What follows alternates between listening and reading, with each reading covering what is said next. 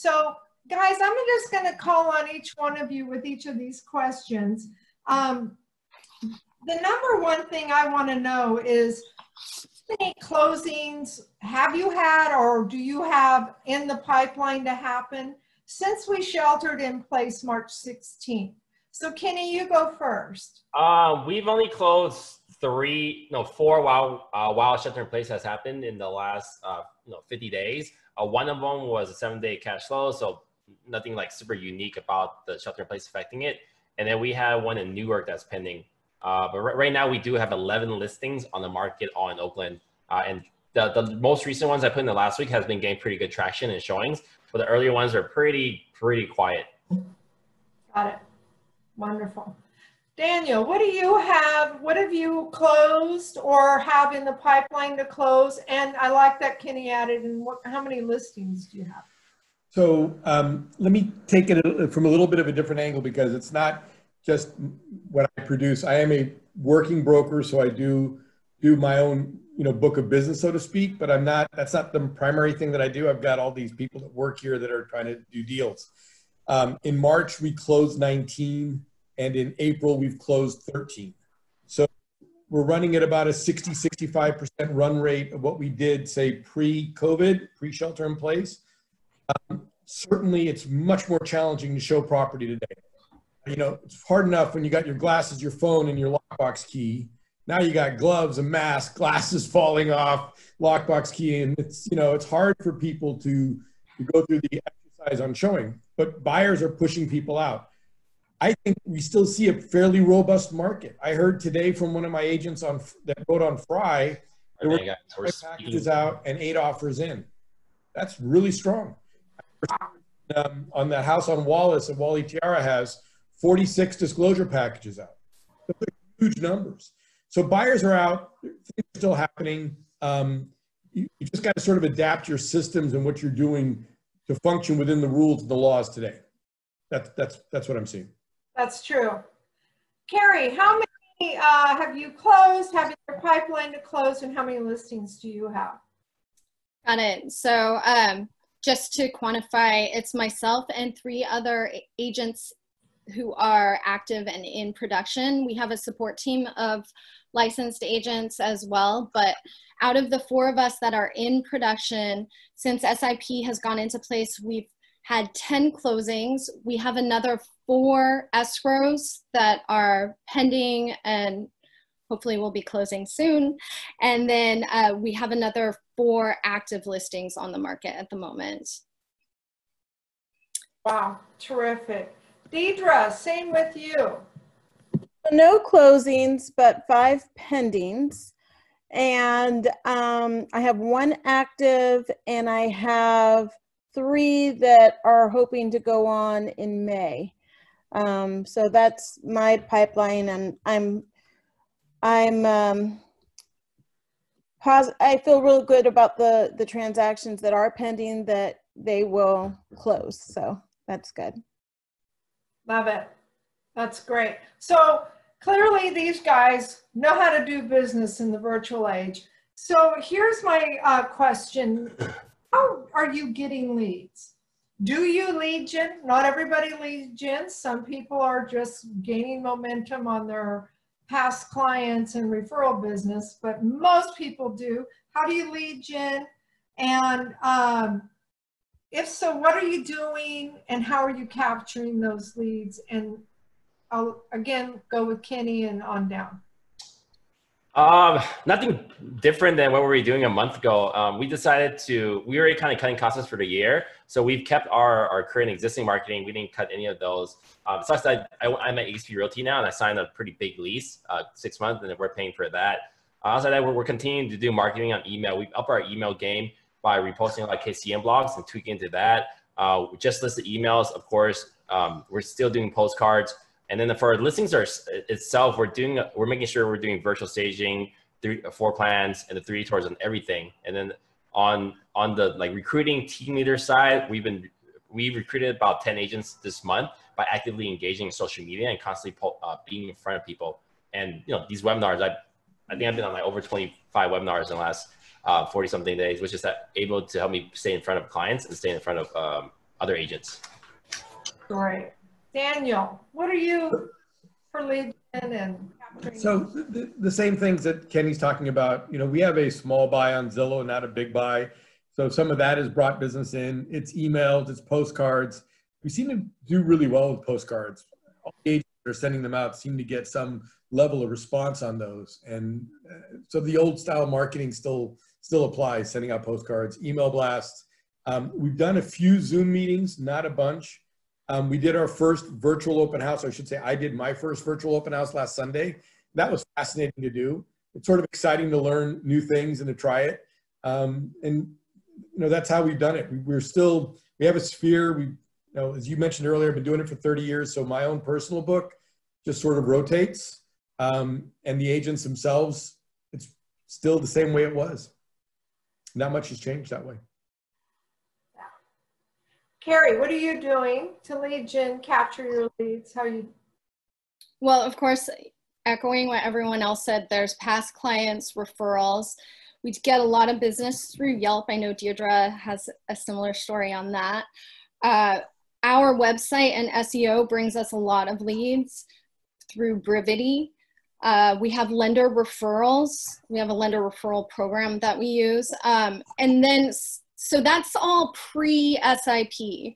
Post-SIP, we have been holding, well, we've, we've hosted five home buying seminars and, or web, webinars and five home selling webinars. And next week, we are going to be unleashing our investors webinar.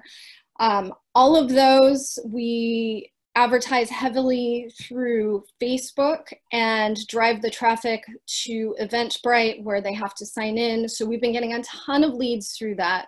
We also have been doing a ton of open virtual open houses. We have had how many open houses now? Nine virtual open houses so far through Facebook Live, of which we promote those with online, um,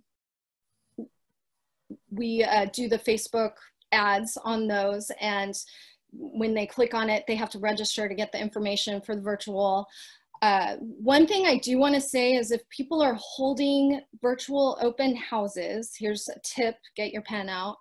Um, we were at first excited that we were able to put the links for those in uh, in the MLS confident, I mean, public remarks. And then we were hoping that that would translate to Zillow leads and um, Redfin leads because it would go in their public remarks. But they are filtering those websites out. So my tip for you is to spell out the URLs to those. So if I was saying my website, which is um, the Monday team or Monday team agents dot com, I would spell Monday Team Agents space DOT space COM. And that's how you get through that Zillow filter or the Redfin filter. So then it's showing actively in their public remarks. Um, lead generation has been really good. And the way that we've been doing our virtual open houses in order to gain leads in addition to the, the sign up um, click-throughs from our ads is calls to action. So we're not just showcasing our homes. I mean, of course we are. And, you know, honestly, I feel like our open houses are doing the sellers a bigger service being done virtually because we're not distracted by all the activity in the house and the, random questions from the buyers. Instead, we're literally selling that house. We're showing off the features. We're showing off the functionality. We are telling stories that the sellers told us about the first time that they, you know, stepped into the garden, the, their feelings and, and translating that directly to hopefully what will be um, a potential buyer. But during those open houses, we also place things throughout the house which have calls to action on them. So Easter Sunday, we had an open house. So we hid Easter eggs throughout the home. And whenever our, our ladies on my team would find those eggs, they, you know, would open them up and say, oh, you know, the um, this kitchen is big enough to add an an island. Would you add an island, or would you, you know, keep the space open um, and you know able to to move about and have several people in there? Comment below. And then other calls to action would be are you just getting started on your search? If you need a good lender referral text me at and they would put their phone number they would verbally tell their phone number. Um, and then while so we have the four ladies on our team that are at um, in production and so we staggered our open houses to be kind of a uh, a relay race.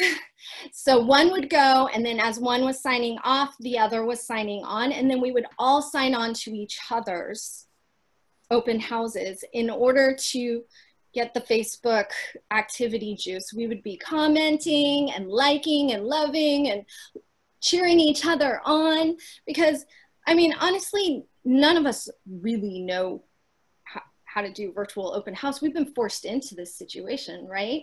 Um, so we have a choice to either sit back and watch and see how everyone else does it or just make it up. What's the worst thing that could happen? Your sellers are going to be happy that you're actually doing something extra. Um, and my one of my mentors that I look up to, Ben Kinney, good friend of mine, he says we justify our inaction, we complicate things in order to justify our inactions. And so it's not difficult. It's easy. Do what you're normally doing, but think about it beforehand.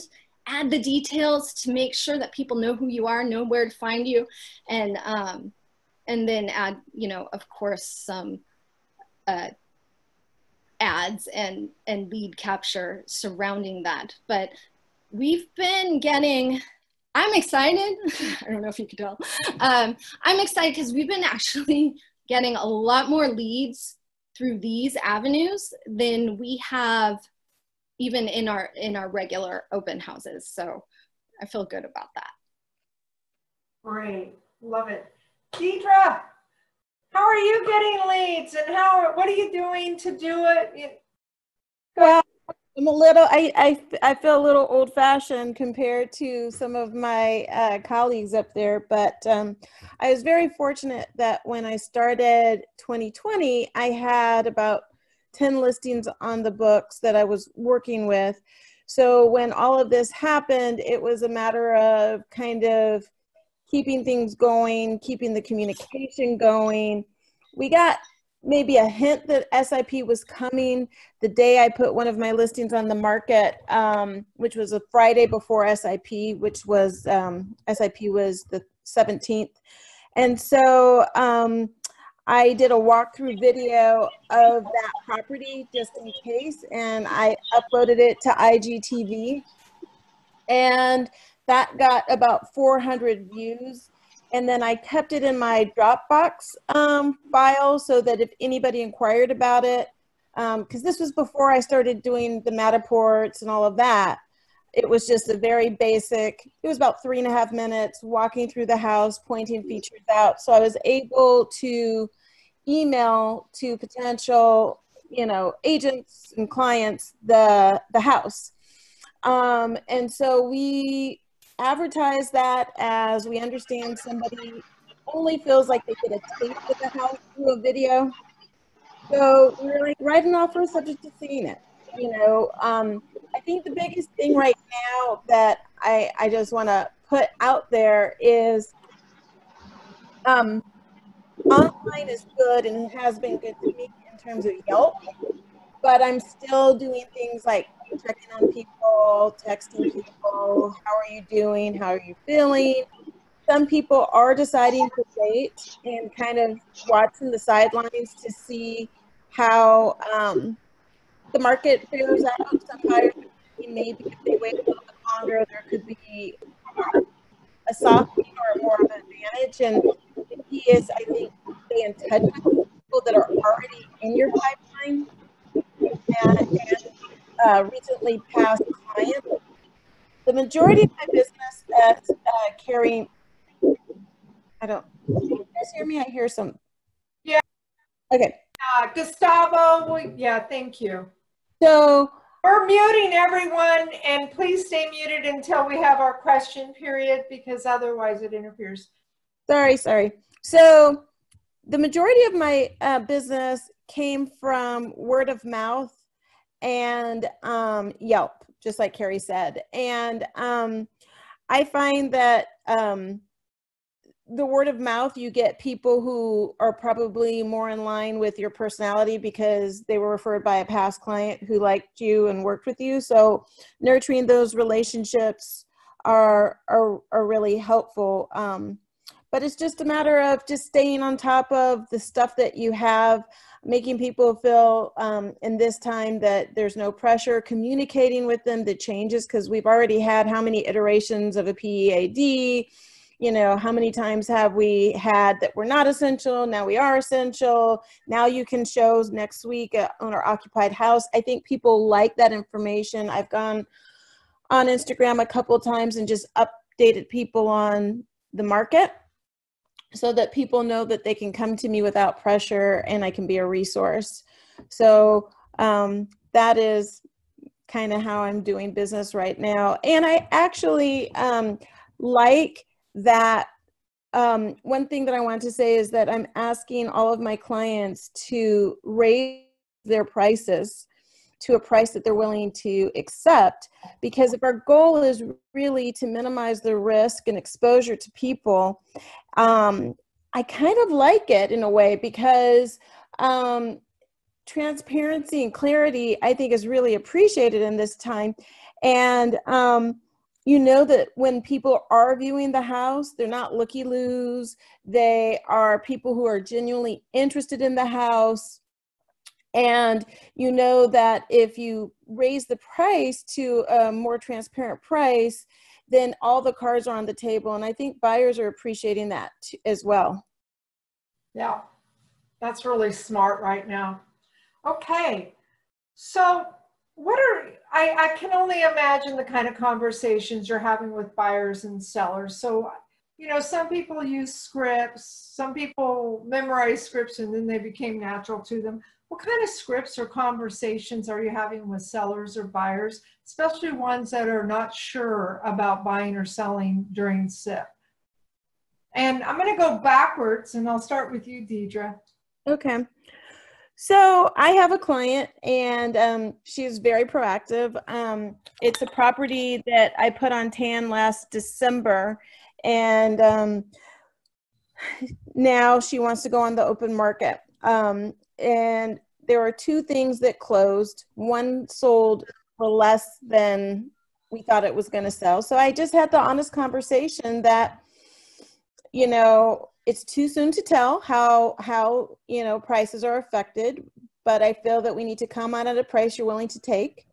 And I just wanted to just ask her straight up, you know, you have three kids at home. Are you comfortable with someone coming in your house, even if you leave the house, even if they wear gloves, even if they they they wear masks?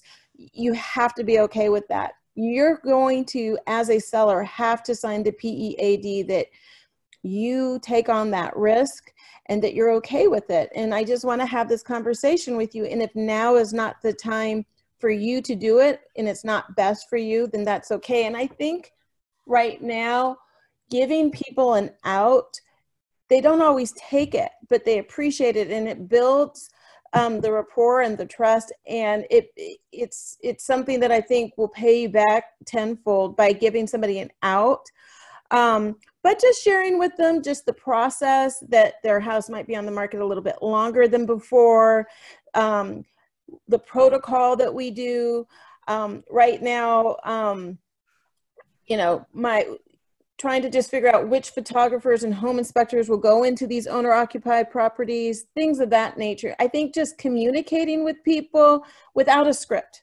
How are you feeling? What's going on? You know, what is your timing? What is your budget? Has your budget changed? Those type of things. And, you know, tell me your biggest concerns about selling or tell me your biggest concerns about buying is something that that I think just works in any market. Kerri, what are you, what kind of scripts, conversations are you talking, you know, speaking with your buyers and sellers who have some trepidation around SIP? So for my vacant property sellers, the, the script that comes out is, you know, what if you had nothing to lose by going on the open market? We've never had a more captive audience. If they're not watching Tiger King on Netflix, they're scrolling and looking at homes on the internet. Even people who love their homes are looking at homes. I look at homes. My husband looks at homes. We're happy where we're at, but it's just what we do. And we always dream about, you know, oh, maybe someday we'll move to the hills or maybe someday we'll move to Hawaii or whatever. But there's never been a more captive audience and the least amount of competition out there for you. So why not try? The worst thing that's going to happen is you're not going to get what you were hoping, and then we can pull it off the market and try again once SIP is lifted. So that's for the sellers of vacant properties. Sellers of occupied properties, it comes down to more comfort level conversation, such as what Deidre was talking about. And actually, up until this week, it hasn't even really been allowed so that it, it was more of a logistical conversation. For buyers, um, the conversation surrounds uh, fortune telling and, and future telling. and so we, we always tell our buyers, you know, there's no way to predict the future and exactly where this is going. It changes day by day. But what I can tell you is that um, interest rates are at a historical low and they will eventually be going up. If you find a home that's right for you and your family right now in this time and place with um, a pri- you know a price point and an interest rate that fits your budget and you're planning on staying in the home for the next five to seven years there's no reason to wait. So those are the two conversations that we're we're having with buyers and sellers. Um, and of course it all boils down to we're not going to fight them at all if they're not feeling comfortable. We are supporting and um, you know holding them where where they are Right. Danny, what, what kind of conversations are you having? So exactly what Deidre and Kerri are saying. It's it's exactly that. It's about client comfort and the client knowing that you're there, you know, working in their best interest as a fiduciary, trying to protect them. Occupied homes, really tough. I mean, up until maybe next week, we couldn't even go inside. So somebody wanted to sell a house that was occupied. I said, we can put it on. You can't show it. We'd have to take contingent deals until the SIP's lifted. If it's vacant, we're on the market. We're doing the virtual tours. Um, we're communicating with sellers about what activity is like. Uh, you know, echoing again what Kerri said earlier, inventory is really low. And as and um, Tina, you've been on this call with me where I talk about morale all the time, right? And I think it's really hard for agents to maintain morale when they're, you know, bullets are flying overhead and nobody knows what's going. The rules are changing every day. So, although your questions about scripts, what I try to tell the agents is the spring market didn't happen, so that pent up demand is still there.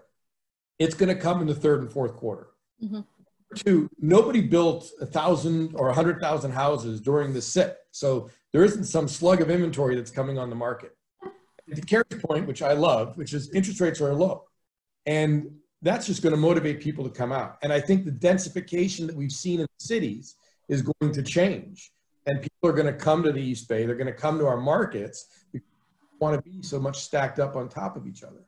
So that's what I tell my agents, and I say, hold on to those things. The three things that you can easily remember: spring market, no new inventory, low rates, and then take this time, work on your CRM, work on your on your contact list, reach out to your clients. I don't use scripts, which was the start of your question, because I, I really believe you have to have your mouth closed and your ears open to listen to what your client wants.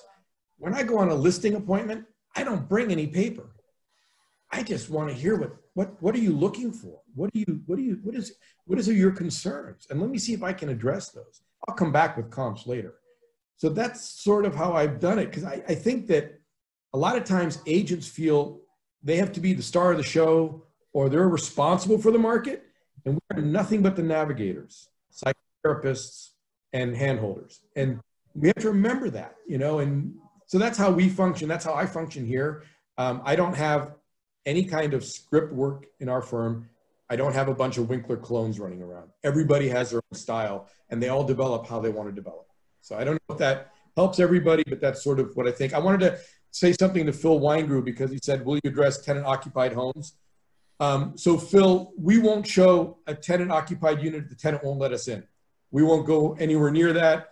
Uh, we actually blew up a deal over it this week. We're back on the market on 11th Street with Ramona Riza. Uh, the buyer wasn't going to close without going inside. The tenants weren't going to let him in with the SIP. So we said, here's your deposit back. We tried. Um, just not willing to take the chance or the responsibility with that chance, not taking any risk. Smart, smart. Kenny, what kind of conversations are you having with buyers and sellers who have some interpretation about getting into the market? Um, so for me, I I don't use scripts. I kind of make them up every week, and I tend to like have a certain script. If I come out from conference or I go learn something pretty cool, um, I'll, I'll, show you some of the things I, I'm talking about pretty frequently. So I can do a screen share um, I, I, like to talk about like the, the Zillow traffic in the San Francisco uh, Bay Area. Traffic has been down average of 30% since shelter in place has been lifted. Um, let me zoom in real quick. Uh, but now it's, it's actually spiked higher and the demand has went up five to 15% higher than last year. And then this is my favorite trend. I love talking to clients about now because uh, I, I, landed a big uh, listing in Station House last night. Uh, the demand is out there, it's pent up. Shelter in place, we weren't able to show homes. Um, just yesterday, we listed a house on East 33rd Street, and we already had six showing requests. This is an occupied home, um, so it's kind of shocking to see how much traction we're getting on that one. And then if you look over here, this if you guys do Google Trends, you can look up certain keyword terms. Um, this is really interesting because the, the market usually in the last two years, like uh, this is pretty average. You're getting about I don't know 59 million view, uh, searches on average every month for the term buy a home or buy a house the house is in red because I think people are living in condos right now in smaller places. Uh, now they want to get the heck out of there so because they need that second office or in their bedroom. But it's interesting since like shelter in place was down here, uh, it's been spiking up a lot, and then we're seeing these crazy trends right now. Because I really thought maybe we were going to have a very lax version or relaxed version of shelter in place, but people are really, really uh, out looking at homes and want to look at homes. So I'm kind of leading with that conversations. And then for vacant properties, so out of the 11 properties we have on the market, uh, nine of them are vacant. So we're, we're just going ahead and putting on the market. Uh, and then I'm, I'm, I'm talking to my clients about what I've learned every week. Early on in the shelter in place, I've actually told my clients, I have no idea what's going on. You're going to have to give me some time to talk to other agents in my marketplace before I can give you any type of like good feedback. And then from what I've been hearing from the Alameda County agents and from the Contra Costa uh, agents, and the like masterminds. Oh yeah, last night I was in, I, spoke on the San Jose Investors Mastermind panel. Brett Jennings, me, Brett Jennings, and, the big investor down there all thinks the prices are going to drop off 5% this year.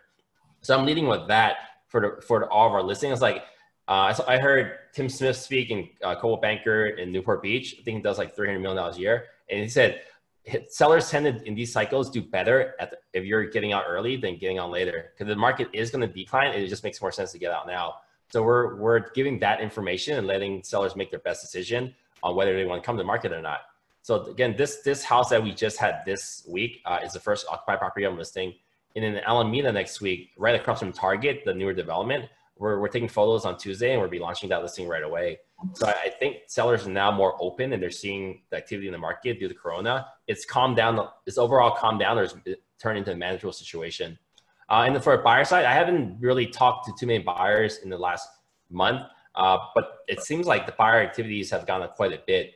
It's, it's, it was pretty, pretty dead in the last month. So my team of 12 very active buyers agent, we only wrote three offers in the last month, like 30 days. Prior to three days ago, we wrote three offers this week. So the activity there, if, if this team of really active agents are out there showing homes and nothing's coming in, uh, we're getting like, you know, a couple showings on like a 500 grand, two of my 500 grand condos are getting about three, three, four showings a week and no offers yet. Uh, but now more than ever, so there's no script, but we're, we're constantly, constantly updating the sellers every day because we have group text going on. They're asking us, hey, what's going on? Hey, what, what's going on? I wish I had better news to tell them, but we're telling them this is what's going on, going on with my other listings. Overall, everything is pretty slow. So you're not necessarily any doing better, any better or worse. Uh, and then for pricing, I had a I had a West Oakland loft, a three bedroom on Eddy Street. I thought it would go fast. It's super cute, like um, in the two story Victorian thing. We had we only had one one set of three buyers showing that Saturday, and it's been silent since. And I thought that was going to be my hottest listing of like in the last two weeks. So being able to like bring the information from other agents and really being transparent about that has been really helpful in guiding my clients. Great, great. Um, so to stay on that with you, Kenny, and then I'll work my way back. What are some of the vehicles you're using to promote your listings, i.e. virtual open homes, Facebook Live, Zoom, WhatsApp? What, how are you promoting your virtual listings?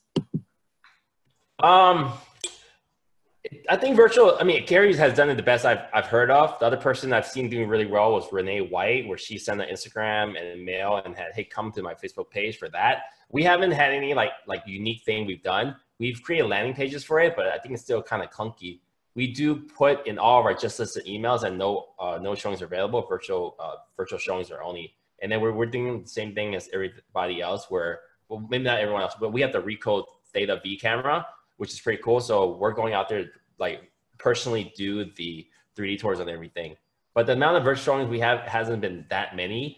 Uh, and then like I, I want to make sure people are distinguishing between virtual open house, a virtual showing, which an agent is usually doing, and then maybe a guided seller tour. We've done a couple guided seller tours uh, where we'll set up a time and the seller walks through property with their phone.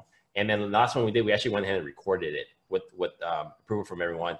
And now if people kind of like how you guys are going through extra step of the PEAD form and making sure you read the disclosures, we're, we're asking potential buyers to please look at the guided seller tour video first before you uh, are even considering coming to our seller occupied property. Because we really want to minimize the people uh, in the in the homes. Daniel, what kind of what kind of vehicles are you using for your virtual tours?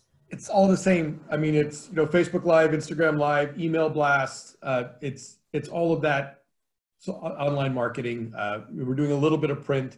We, we're doing our first full page ad in a long time this Sunday in the Chronicle because um, I think we have eight or ten right now. So there isn't any secret there. It's the same thing. The hard part is how do you find the buyers? And what Kerri was talking about, I noticed in her comments when she had changed it to spelling out DOT and then Com to get through the filters and all that. I think getting the MLS to let us broadcast these on Sunday, like we post tour and open houses before, is really a key to getting the word out to buyers so that it shows up on Redfin, it shows up on Zillow, because that's how they're finding us now. So that's what we're doing. Um, we're, you know, that that's the extent of it. We were trying to get the word out through social media. I think this experience has turned all of our attention more heavily to social media. Kenny's a master at this. I really admire everything I see that he does, and I've watched it for years. Um, and he, this SIP has forced us to sort of pay more attention to that. We hadn't, candidly, in the past. You know, we traditional marketing, like Deidre, sort of old-fashioned, um, and and you know that's always worked for us. And Deidre, I'm going to answer your other questions, but it's too much for me to type right now with my fingers in the camera, so I'll, I'll get your questions answered. Thanks, Danny. Kerri, because you just recently did an open house. I thought it was fun. You created a cocktail party and then you had people deliver cocktails to people's front porches or something. I, don't remember. You explain it. I'll give it no justice. We did. So there was a particular property that we wanted to share the um, the sunset with everyone because it had a has a terrific view of the bay um, off of the deck and the dining room and also the living room. So we wanted to showcase the house at that magical golden hour. Um, so in order to do that, we marketed that um, if anyone could produce, so this was through uh, paid ads on Facebook and Instagram, if anyone could produce a pre-approval letter for um, 1.35, which was the list price, or higher, we would deliver a cocktail that was um, made specifically for the home uh, by a local mixologist um, and so we promote it through her page as well. we would deliver to the potential buyer's doorstep and their agent's doorstep this cocktail. And so we we only ended up delivering 20 cocktails. I don't know if that's a good thing or bad thing. Um, good thing on the pocketbook. Uh, we we didn't know what to expect out of that. Is that something we'll do again? It was fun I can tell you that I, the agent that Bernadette that we had from our team did the open house and um, she was sipping on her cocktail um, that she found in the refrigerator of the home while she was showing the home. So, um, you know, we're trying to make it fun. Uh, so we spent some money on cocktails. We spend money on on the ads. And then I already gave the details from before. I think the only other tip that I may have left left out is um, as far as uh, how to go about logistically doing the the virtual opens. Um, there's a thing called a gimbal. Some people might know what that is. Other people just type that G-I-M-B-A-L into Amazon and it's a stabilizer for your phone so it doesn't make everyone feel like Blair Witch Project motion sickness. Um, so the gimbal helps or if you have someone else that you live with, um, so not not a third party but someone else that you live with that can follow you with your phone from a distance that allows you to actually open a dishwasher and show the distance uh, the walking space between that and the island. Or um, it allows you to also uh, you know just get full body views which is a lot better than the you know the selfie style videoing. Um, and that way they can see your face they can see you talking about the home at the same time that you're showcasing the home. So those are some extra tips that we've figured out along the way. Love it. Deidre. Yeah. so what vehicles are you using facebook live whatever to do your virtual tours or showcase your homes So I have gotten the 3D Matterport. Um, as I mentioned before, I have walked through and had um, somebody video me walking through the house. Um, I always have had um, worked with a graphic artist though to um, do Instagram um, postings of my listings with information, and I boost those those posts. And then um, I'm showing my age.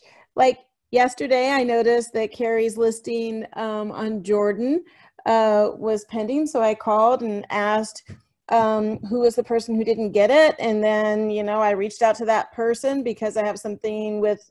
I, I mean, I'm making phone calls. I know that that's not the tech savvy thing to do, but like if I notice that an agent has sold a lot in a particular area or typically has a book of buyers, I'll call them. I mean, it was really funny before SIP. I had a listing on on Alcatraz and I knew it had challenges because it was on a busy street next door to an apartment building. And you know, when I go on brokers tour, I'm like, "Hey, you know, to an agent, you know, I noticed that you showed this house. I said, I hope you bring an offer. You know, I I kind of speak up and and and talk because I think that's effective. And I think that especially right now when people don't really know what's happening with the market, picking up the phone, whether you have a buyer or a seller, to find out what the expectation is so that you can then maybe call your client and go, hey, this is actually a transparent price, or hey, they really said they won't sell unless they get blah, blah, blah. Or, oh, this agent called me and somehow this listing was under the radar and they're just looking for a good offer and I didn't even notice it. So I think that we can't just rely on social media because we might get views from people and our friends and our family, but us agents are the people that are making the transactions happen. And sometimes I'll even call a lender and I go, hey, who do you have pre approved in this price range? Um, you know, maybe you can mention it to their agent. I think that just being a squeaky wheel is something that you're going to have to do in this industry no matter what, right? Like even before SIP, you get a lead, you follow up, nothing. You get a lead, then you email, nothing. And then sometimes you have to like email three times. Sometimes people will be like, you know what, I met somebody at an open house, I'm already taken care of, or oh, I've been meaning to respond to you. Work's just been really crazy, but I still would like to meet with you. And you have to just be able to um, be okay with rejection, be okay with um, all sorts of things that are kind of thrown your way because it's just business and you can't take it personally and you have to just be that squeaky wheel. But I would say pick up the phone, um, especially right now, you know, there I'm seeing that listings that might have gotten six to eight, they're now getting maybe one to three offers, but that still are those, those still are people who have um, you know viewed houses. You can find out who's even viewed houses, who's pulled disclosures. With Disclosure IO, we have so much more information, and you can just take that. And if you have relationships and rapport with your colleagues, you can really get the word out in a, in a meaningful way to people who actually are looking to buy and looking to sell. Yeah, yeah. So here's a question. In uh, the way I frame it is, in this day and age, let's all just give away our secret sauce. You know, nothing's proprietary. Let's just share with each other and support each other. So what vendors are you using that you like? What photographers, virtual staging? What, who are you utilizing and who's willing to do stuff within the orders, within the COVID orders from the county? Uh, so Kenny, who are you using? Go and then I have to run uh, to another thing in five minutes. Um, our, our photographer is Christian Klugman. We just love his work. That's pretty much all we use. And then we use a really great website called usepillar.com to create amazing single property websites within seven minutes. Uh, and virtual staging, I know like lots of different vendors offer it. We found this new site, I, I didn't remember it, but they charge $8 for virtual staging only per photo, which is extremely cheap. If you guys look at my new listing at 801 Franklin Street, uh, you can see examples of that. It isn't as like high, super high end, whatever, but it, it, for eight bucks, you can't really beat that. And then our, our go-to is Box, uh, Box Brownie because Box Brownie is one of the few virtual photo companies that offers uh, image removal because there's a lot of other companies out there, but then they don't take things away. So unless you have a vacant home, they can't really work with that. Uh, and then Box Brownie also now crazy. They do these uh, 3D tours stitch together, which I think the price is unbeatable. Uh, it's like if you send them 3 15 3D pictures, they'll stitch up for you and make the floor plan for $15. I'm guessing they have someone overseas. For you to do that will probably take you an hour and a half. I would I would pay the 15 bucks. Uh, so those are my main three vendors. Really recommend you can get maybe someone in your team or, or co-agent or someone in your office buy a Ricoh Theta V camera. It's $369, a great investment. The cool part of this camera is kind of weird. Anyone, anywhere with that camera can go to any listing and upload a 3D tour to your property. Wow. So most of our listings, like a 1,200 square feet uh, property, it takes like 15 minutes to, uh, to put together. Oh, sorry. Property. Someone asked me property website. Use Pillar, U S E P I L L A R. Um, we we've been using that on pretty much all of our listings right now. Cool. And I have to run at the uh, another thing. Thank you guys. What happened? Good luck. Hi, Kenny.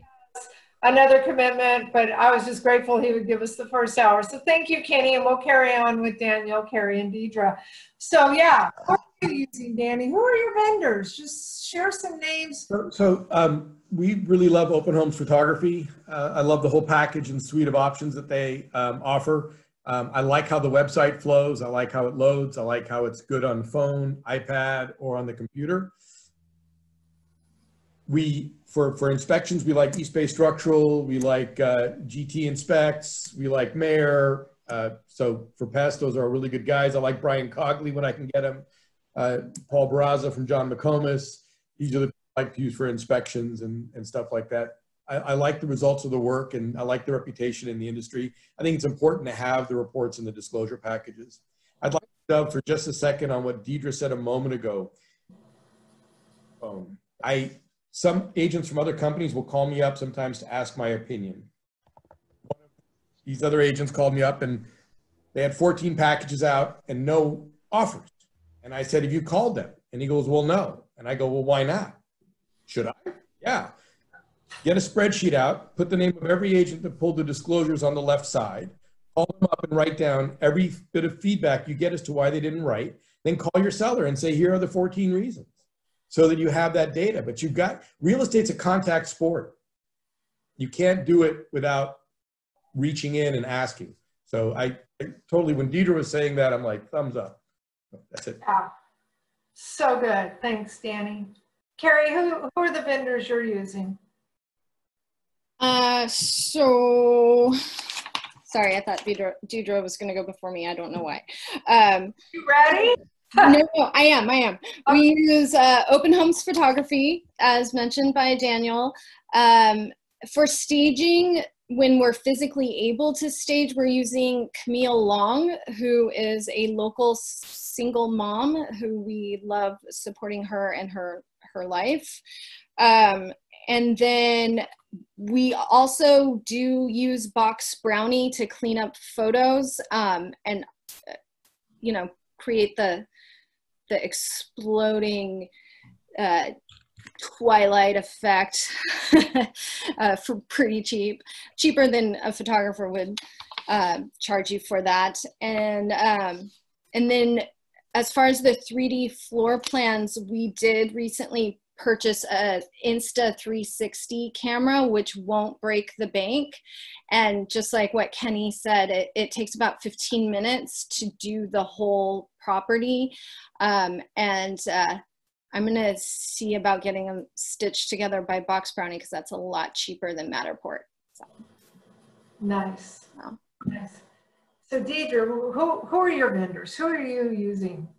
Um, I have um a, a guy that I requested open home photography and but most of the people there are really good. Um, I I do like the convenience of everything kind of on one shot, but I didn't I was underwhelmed and I thought the pricing for virtual staging was too high, so um, I recently added a few pictures from um, Box Brownie on one of my listings.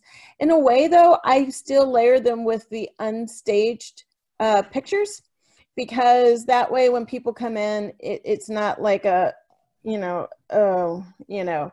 Um, and um, in terms of um, Red Oak, we're fortunate enough to have a videographer who has made a few videos for me.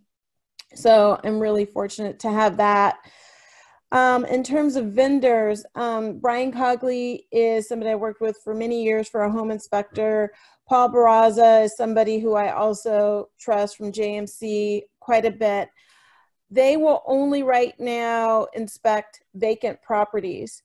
David Tier will inspect an occupied property if they leave. And I think that um, you know, from the buyer's protection group, he's really, um, I, I like him. Um, I've been working with Dan Marzelli before I was even a realtor. He did work on my house, you know, 20 years ago. If I can't get Dan, I love Steve. Um, you know, I if I if it's a house in Montclair or I feel that it's the need, on occasion I'll use East Bay Structure, John Lee, Burton Chin. Um, and then um, staging i use ken mchale a lot and i use uh, visual jill you know it depends on people's budgets. I mean here's the thing right now. We have to be very careful because you know you're asking people um, and i mean i know it's a little bit different with sip but let's just face it frankly some of the listings that i'm working on we've been working on before all of this happened and so you've asked people to invest in their home, and it, it is investing in their home. They're not doing it for you, the agents. It does help us agents sell their house better. But right now, you know, what are we doing here when we don't know how the market's going to shake out? And right now, um, in terms of people counting on us to give them advice on where to go now and while we're prepping houses, we have to be conscious of the fact that they might not get as much as maybe they would have two months ago. And I think having that conversation with your clients, you know, next week, if we're able to legally stage, I know Contra Costa County has said that it's legal to stage. Um, we have to have those conversations. We have to revisit comps again, and we have to revisit things as we're working with clients to bring things on the market because we can't just assume that people want to sell at any price. And we can't just assume that the number that you told them five months ago, four months ago is still going to be that number. And so, um, you know, right now there's people I know who are, you know, changing out lights and in the middle of bathroom projects that got on hold. And I think we need to have those conversations, especially also adding on top of that, staging's expensive. I mean, I love Studio D. They charged a client $12,000 last year, you know, and you know that's a lot of money and they do beautiful work but we have to start talking about the the budgets and the expectations that's absolutely true. Stay on top of your finances. So while you do these virtual tours, how are you lead capturing? How are you finding out who's looking at them, who's interested, what vehicles are you using to capture leads? Anybody have anything they want to share?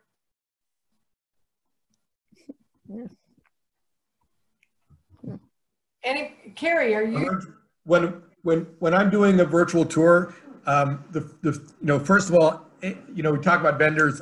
We should probably mention Katie Lance um, because she's really good at coaching and talking about some of this social media and virtual um, opens. So one of the tips she gave that really resonated with me is acknowledging everybody that comes on to your virtual tour. When you see them post something or wave or whatever, say their name. Hi, Tina. Hi, Kerri. Hi, Deidre. And then I ask if you have questions, reach out. Here's my phone number. You know, Kerri said it too. Here's how you can reach us. So you have to ask for it. I don't have a form um, where people sign in to be at the virtual tour. And I understand some agents that were doing this on Zoom, they got bombed on Zoom by trolls. So you got to be somewhat careful with it. I don't know how you capture the leads yet. It's going to be evolving. And truly, the people that want to buy, they're going to reach out. I mean, it's sort of like what Deidre was saying instead of having eight offers, you got one to three, but those one to three are serious people. And people that are out right now are serious. That, that, that's what I think. So, um, you know, ask for the, ask for the order. Say, if you want more information, you want to set up a private showing, please reach out. And, uh, or reach out to your agent if you don't want to poach. Yep, yep. Yeah, Kerri, Deidre, how are you guys capturing leads? Or are you? Oh, well, I mean, just through Facebook ads, the Eventbrite um, for our seminar logins. Uh, we have, as far as capturing leads on Facebook, while while the virtual tours are happening. Is that what you're asking? Uh, buyers that are seeing the virtuals and wanting more information. How are you capturing these leads? Well, I mean, all their comments are live perpetually. So we reach out to them, um, direct message them, ask them if they, you know, if this isn't the house for you, what what would be the right house? What do you need an extra bedroom? Do you you know need a garage, large garage, or things to start inst, uh, you know, getting generating a conversation. I'm not uh, generating any online leads from any of the um, social media tools that I have used, but I do feel that what I'm putting out will, you know, are, are like planting seeds. And I think that the people that are watching, you know, might go, oh, you know, I like how she put that out, or whatever the case is, or oh, maybe this is somebody that um, I can call on in the future. People notice. I and also how you present yourself and being accessible and being down to earth really helps. I remember years ago I hosted an open house. I talked to everybody. I wasn't salesy. I just was I tried to be approachable. I said to everybody who was there, um, you know, if you have questions or if you don't understand something or, you know, just let me know. Like ask me anything. And that there was a couple that came and um, they had an agent. And they were frustrated with their agent and she couldn't remember my name. She couldn't remember anything about who i was but she remembered that there was an, a, a, a logo on my flyer that had a tree on it that she didn't even keep but she just remembered a tree on maybe on the sign. So she started googling like real estate companies with trees. Then she found Red Oak. She went through every profile, found me, and I've sold her two houses since. So I just think that right now, you know, like you have to be in it for the long game. And I think that it's going to not just be like a one off. And also, um, one thing that I try to do if I have like a great relationship with the client, and I always wait until we're closed I then friend them on social media. And then I start, you know, commenting on their kids growing or things like that. I know this is super old fashioned and I'm dating myself again, but I do feel that engaging with your clients in your sphere and them then seeing some of your listings and how you put things off is really helpful because they only saw you as a buyer's agent, right? They don't know that you sell things. They don't see that. And it's just kind of taking that client from like a strictly professional relationship and then bringing them into both your personal and professional mix. Yeah. Yeah. Okay, so I'd like to take this last half hour, if we even need it all, and open it for questions, or even if you guys have some best practices you've been doing to help feed the whole body, our whole community, so uh, just unmute yourself if you have any questions or feedback.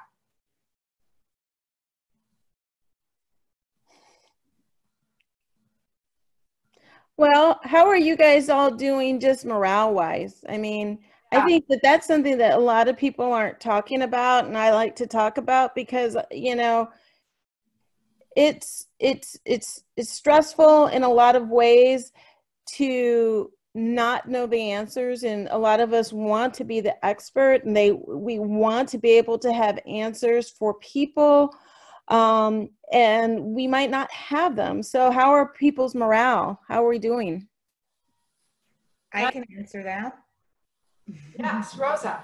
Um, you know i think having keeping a uh, your morale up is uh, part of allowing yourself to be down and and experience the emotions that you are having when they're not considered positive. But um that's that's one way. But also attending webinars like this like i have to be honest i've had a really crappy week. And i came here uh, in hopes of keep getting my my morale bo- boost which i have. Thank you very much. And um, listening to the one thing you know doing things to help that are that are in this uh, uh, putting that are meant to put you in the positive mind frame. But uh, mainly really just allowing yourself to have those downtime that that moment where you just feel like falling apart. I highly encourage you you to fall apart. Then when you've exhausted it pick yourself up and try to catch a webinar or something a, a, a podcast or something. Yeah. Anyone else yeah, this is uh, Joey Wong. Uh, I got a question for um, any of you guys. Um, I'm just curious as far as the deals that you guys have closed, um, as far as financing, if you've noticed any particular segment of the financing market has impacted your, you know, your buyer's ability to close. I'll say that um, the the larger banks right now are uh, pretty disappointing. They're not they they don't care if there's a timeline involved at the moment.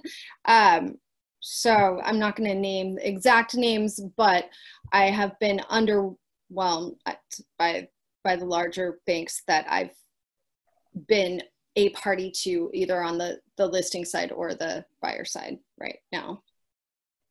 So um, we, I try to stay away from the money center banks for exactly that reason. Um, I adore JVM lending. They've been terrific. I like Carlo Zerner and Alex Alexander from Summit. They've been terrific. We've not had loan issues on deals. However, we are alerted that non-QM mortgages for higher end things you have to be very careful on. Yep. In our marketplace, a lot of the people that are buying these more expensive homes have capital reserves. They're not coming in there with five or 10% down on a jumbo trying to sneak in. They have 300, $400,000 and they're able to satisfy what the bank's doing. And I think you'll see more 80, 10, 10 Danny, you froze. So Danny froze. Uh, I'll tell you is he's right. Just pay attention, talk to your lender, stay on top of it. Uh, non-conforming loans are going to be tighter, and yet people are still closing. There you are. You're back. You froze on us. No, no problem. So that that's that's that's something that I would tell you to, to sort of be aware of. Relationships matter. Um, I'm appraisers are willing to do drive-by photographs of the interior, so some of that is is a good thing.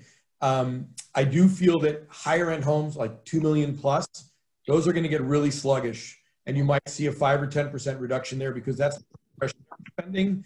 Than say homes under a million five, which is sort of our breadbasket. You know what people need for housing. You know, it's a million dollars to a million five. So comment on financing, Joey. I think. Um, five or more units on apartment buildings, that's a whole different bailiwick. Uh, you know, Casey Wright from Rincon Financial has been able to help me. I was looking at some stuff in Reno, and he says he can get financing. So I feel pretty good again about who you know. Mm-hmm. Nice. Anybody else? What's your experience, Deidre? Um, you know, I'm just I haven't had any issues. That's great. Um, you know, right now when I I have gone into contract, I think on five things since SIP, and you know, you have to pick up the phone and vet everything with the lender before you would recommend that your buyer accept an offer. And you know, the questions that I I ask are, you know, ha, have you recently pulled the credit and verified income and assets, and or any of the down payment funds?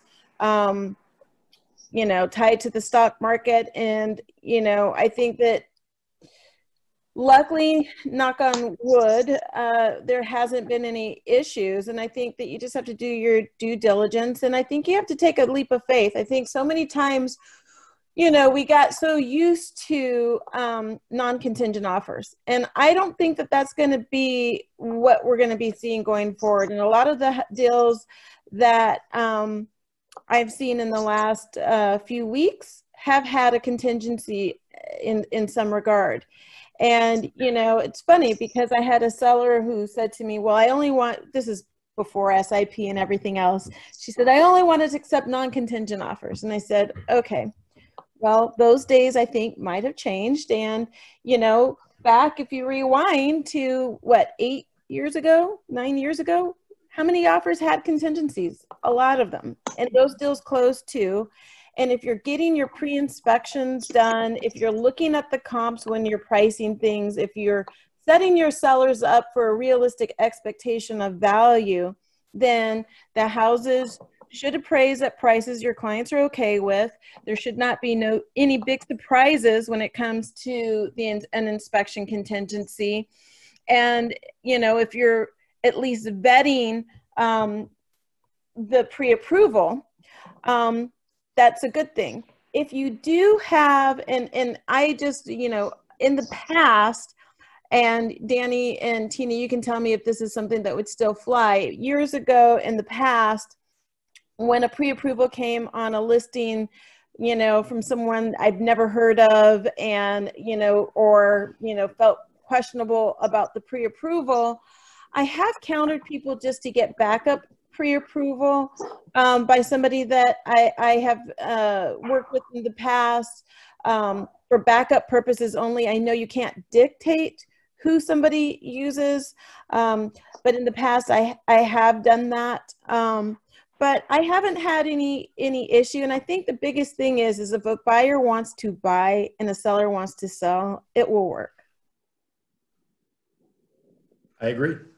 Um, you know, you talk about the backup offer thing. eh, I mean, the uh, backup lender thing, that sort of thing. So sometimes you get like a pre-approval from Alexandria, Virginia with somebody you've never heard of before, right?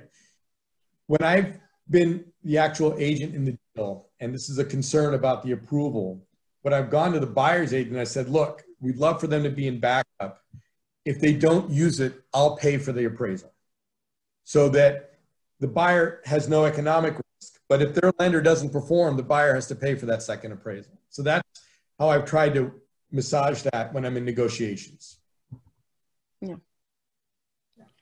And there's been a couple times where I have said to somebody, "Love your offer. I'm I'm concerned about your lender." And you know, you would never put this in writing, obviously. And I would just say, "And here's the reasons why I'm concerned." And there's been a couple times that the buyer's agent, on their own, you know, tenacity, wanting to make the deal work, has um, has uh, gotten them another approval from somebody local. And they said oh thank thank you for calling me with this because i have been trying to get them with a local lender. And me calling them and saying hey the listing agent loves your offer but she's apprehensive about your lender was the catalyst to make it happen Hey, I have a wild question for everyone. who who thinks open houses are ever going to come back? I mean, like before they find some sort of cure or um, vaccine for for the virus, how long do you think that's going to be? Is it going to literally be like a whole nother season of zero open houses? Or I know none of us can tell, but even comfort wise, would anyone even have an open house right now if they were allowed to? I don't know. I don't feel comfortable right now. You know, I'm already, you know, a little nervous going to the grocery store with all of the protocol you have to do right now. I had a listing um, that was packed. I mean, you know, it was packed, and I thought, you know, to myself, and this is why we actually canceled an open house um, the Sunday before SIP was because I knew that there couldn't be social distancing. Mhm. And, you know, people bring their kids and people touch everything. And if thing, if this really is living on surfaces, bar, you know, I went to drop my car at the service station the other day and there were people without masks or gloves, even though they're saying that you're supposed to do it. So how do you enforce it? And are you going to be like that asshole? Oops, excuse me. Um, is this is recorded? Are you going to be that person that's like no mask, no entry? You know, I could just. I don't want to be that person. Well, I certainly hope open houses come back because I love having open houses. I just think it's a great opportunity to meet people and to, to talk and to share stories, and you learn so much about what, what's going on and everything that's happening. I think for people, they really need to get touch and feel the house. Yeah. I could see where you have a rule about how many people are in the house at one time, and you have somebody helping you with that. And I could see where you have masks on and nobody touches things and that sort of stuff as we get back into into business. Um, I have stopped people. So on my virtual open house on Sunday, I had a couple want to walk in with masks on, and I said, "Guys, you can't do that." I, I mean, I hate to say this to you, but if you cross the threshold, you're breaking the law. So here's my card.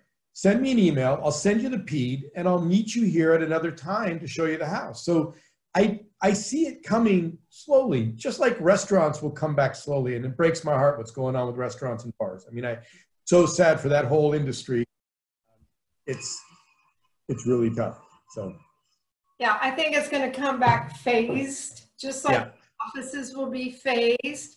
And I'm happy to be the asshole. Today at my office, we were in there cleaning it, getting it ready for the phasing of allowing, you know, one agent or 10 agents at a time. And someone showed up and wanted to go in and we weren't ready. Um, I was that way because I cared about them. exactly, it's exactly what it is. It's call for love any day of the year. Because if I care about you, I'm not going to let you risk your life or anyone else's doing this. So, yeah, that's how we have to think about it. It's not that you're the bad guy, you're actually the good guy. They may not like you in the moment, just like our kids don't like us when we play with knives and we're the bad guy for them, but we're really the good guy. And you just have to know that. And you're going to do that with your open houses. You're going to do that with your buyers who insist they need to go in, even though we don't even know if they can get a loan. You're going to have to do that with a lot of people. That's kindness. That's true kindness. Um, ladies and gentlemen, I hate to do this, but I have to go. I have a meeting in West Oakland, so I've got to jump. It's been great being with such an, a distinguished panel to talk shop, and I admire all of you. I love watching what you're doing. It's fantastic. May you all be healthy and have a great weekend. Talk to you all later. Bye. Bye, Daniel. All right. Anybody else have anything to say? And I love, Deidre, that you brought up morale. Right now, you know, in our office, we say it's one for all, all for one. We've got to lift each other up. It is where you're the happiest, is when you're contributing to your community. You can't do that unless you take the oxygen mask first. Unless you're filling up your bucket, you got nothing to give anyone else. So, what are you doing? Are you getting enough sleep? Or is your subconscious mind kicking in at three in the morning saying, you right? So, what are you doing? Ask yourself are you routinizing your day, your sleep? You being real careful with your food, getting exercise? You know, whatever it, whatever practice, religious, spiritual practice, I don't care. But are you doing it? Are you taking care of yourself?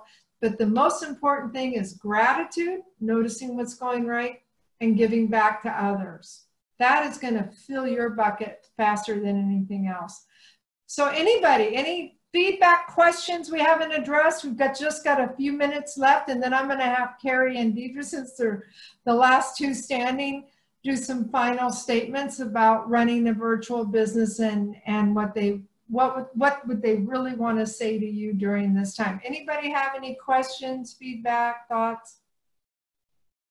All right, well, let's start with Deidre. You know, what would you say? Here's, we've got the range. We got brand new agents to some really established, iconic agents on this call what would you have to say to them about running a virtual business, about showing up during this time, or anything else that comes to your mind? Well, I mean, I've done a couple and I need to do more. I mean, this is a good reminder of um, video of, um, you know, what's going on, or even just me, you know, I felt like so homebound at first in my yard. And I think it's totally fine to let people see you in your sweats um, in your true self. Um, I think that people appreciate that. It makes you more approachable. Um, I, I, don't think that there has to be perfection um, out there when it comes to the video aspect. Um, in terms of the photography and everything else you're doing, I think now more than ever, um, that's something that you don't want to skimp on if you have a listing or if you're marketing something that you want it to, to show its best because you you know people are gonna you are what you put out there in terms of how you market a, a property. I will say um, the first two weeks for sure i felt way out of sorts. I own it like I was not in a good space. Even today, I really wasn't in a good space. And I don't think that you have to, right? Because you have a lot as agents on your shoulders.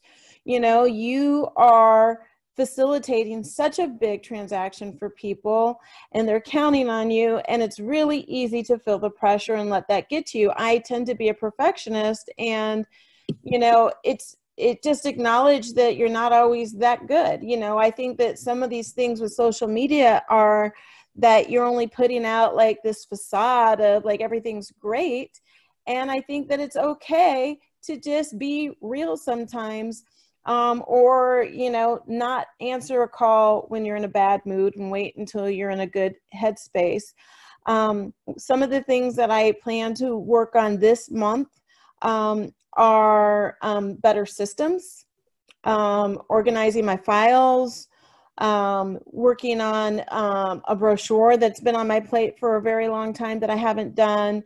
Um, I think that we um, hopefully can use this time to make ourselves better for when we can relaunch.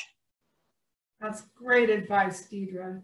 Kerri, what do you have? What are your final words? What would you want to say to people on this call? You're you're muted. You're muted. Good. Okay, so the first thing I want to say is if anyone else wants us to do the cocktail hour again, um, let me know. But the address is on Marin in Berkeley. This is shameless plug. It's uh, 2582 Marin. So if you have any clients that are looking for a 4-2 in, uh, in North Berkeley with gorgeous views and a heart-shaped hot tub, uh, let me know. We'll, we'll redo the cocktail hour. Um, secondly, concentrate on the things that you can control. There's so many things out of control right now, and just concentrate on the things that you can control. Just like Deidre said, you know, if nothing else, get your systems together, um, go through your CRM and uh, and clean that all up. Um, what I'm doing is I'm keeping a, a list in the front of my notebook of all the awesome things that I'm going to hold on to and like embrace that coming out of the COVID 19 uh, shutdown period. Um, some of those are the seller seminars via Zoom. I, sure, it was on my very long, someday I'll get to to do list. And now I've done it and it's written and it's, we're doing it. We're working out the bugs now. Um, so seller seminar, buyer seminar, investor seminar, virtual open houses are not going away. They're going to be a thing for a while. And I feel like they're a lot more effective at actually selling the house. Regular open houses are for lead generation. Virtual open houses are to sell the house. Um, 3D Matterport or 3D tours, I bought the Insta360 camera that was one of those things where we complicate things to justify our inactions. I was like, how am I going to learn how to ever use a? And then shutdown happened, and I'm like, let's get on the Amazon, order one of these things. Now's the time. And it's so easy. So that video tours, which actually like give people that feeling, those are going to stay. Um, the new TAN network that's coming out of this. I mean, at least we're having the time to actually play with it. And that is addressing the whole non compete situation. Um, I, that's on my list of cool things that are coming out of this shelter in place that I'm embracing and going to hold on to and keep in my toolbox. Um, and then I know that that caused our office to um, fast track a concierge program for our agents, which I'm super excited about. Um, but you know, this is not supposed to be a brokerage plug, so I'm just gonna leave that there right there. But that's on my list. So. um, but anyways, I think just having that list of like the cool things, because you know, it's been I don't even know how long it's been. It's been like a month and a half, two months, and I feel like, oh my God, we haven't done anything. And like, we're at half the production that we have, we plan to do in our, eh, you know, with our goals and all of that. And then I go back and look at what we have accomplished. And that just like makes all the doom and gloom go away. Like, oh my God, we're so much better for it. And so I think that's the, the part that I want to leave is just keep those lists for yourself so you can go back to them and be like, oh yeah, I did some stuff, you know, during that time. And then, of course, um, use the non-commute time to hug on your littles and your loved ones and your furry ones and give them the attention that they deserve. Thank you, Kerri. All right, so everyone, let everyone know every Friday at one o'clock, Bridge MLS is going to be sponsoring us doing this uh, virtual Zoom top agent mastermind. Next week, I have Leah Tunger, Andrea Gordon. Oh my goodness, the third pace person went out of my head. Three amazing icons in our industry will be on the panel. Be here next week, every Friday, one o'clock. And I'm going to promise you, these people will be bringing you really high level stuff and the whole point of it is stuff that you can put into action right now. Doesn't do any good to talk about it, walk away with at least one thing you can implement from this because it could really make a difference in your mindset and in your business. And I want to thank you all for showing up. Thank you, everyone. Thank you, Deidre, Kerri, and Danny, and Kenny, who had to leave. Thank you all for doing that, coming from contribution. Thank you Thank you. for running it.